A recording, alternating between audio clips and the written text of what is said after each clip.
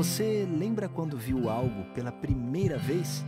Pela primeira vez, o Amazonas viu UTIs no interior, viu estudantes com passe livre e profissionais da educação recebendo o maior abono da história.